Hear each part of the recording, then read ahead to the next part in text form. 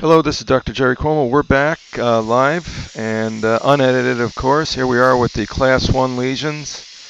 Uh, some of you will argue, my critics will argue, well, why do those? Those are something you can probably want to watch. Let's find out if it's worth watching, all right? So I'm going to go ahead and uh, go after. We have now got the ADA telling us that uh, we can now record um, record the depth of these areas of decay. If they do encroach the dentin layer, and we would list them as a D, specifically a a D1 or a D2. Not to be confused with the dental student, uh, first year, second year. A D1 would be uh, just touching or involving the cement, uh, the dentin enamel junction, and a D2 is well into dentin. I can see dentin on that one easily. Let's see how far down this one goes. A little air, please. Suction only. Okay, air.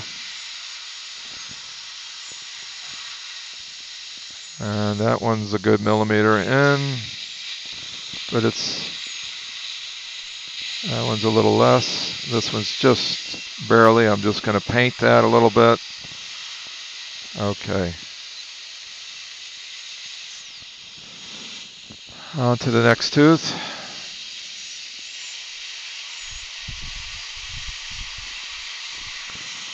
Fissurotomy, I guess you would also think about something called a fissurotomy. That one's well into dentin.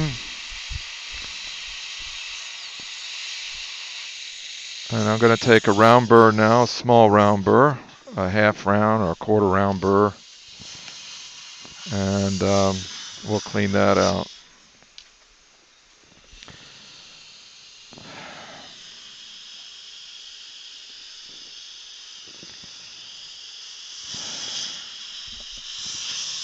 Okay, I'll take a quick break here until I need to go get a quarter round burr.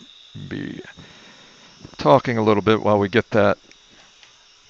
Um, I guess the argument is, you know, if you leave these lesions and just watch them over time, they'll probably be just uh, dormant. Well, I've seen the dormant ones become active. So 31 years experience. I've seen issues. So we'll have to uh, check the uh, the research again on some of this, uh, depending upon where you're coming from your with your research. But this is active decay, and I guess I could have left that one, but uh, I'm kind of glad I didn't. And that one's actually doing a little dog leg toward the mesial buccal.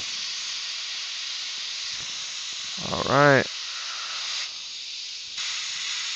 So you see the difference between the two? Patient's numb. Why not just go ahead and go in there and do it? You have enough visual. On the x-ray, absolutely could not see this type of decay. Here, we're here a little bit. Maybe can, I won't touch that one. That one is just, we'll come up in here and clean this one out.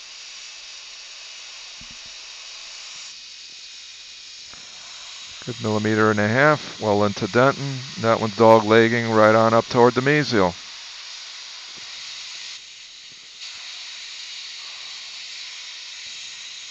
Okay. You got the idea, see? They're not so two-dimensional as most x-rays are. Okay, so we'll air that dry again. I'm going to come in with the cavity cleanser.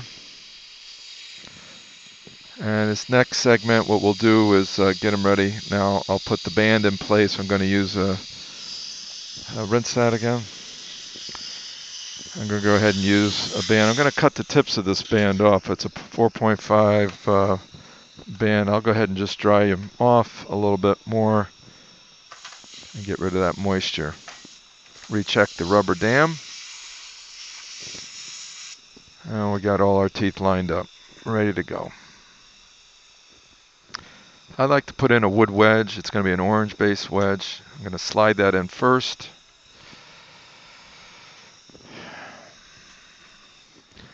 And to get good separation, maybe go back in while we're waiting for that. Just recheck this margin again. Make sure everything looks good. Come in from the side. There might be a little bit of plaque in there. We don't want anything else. There's the fracture. So I'm going to go off uh, video now. I'm going to take a photograph of that fracture. I'll be right back with the next segment.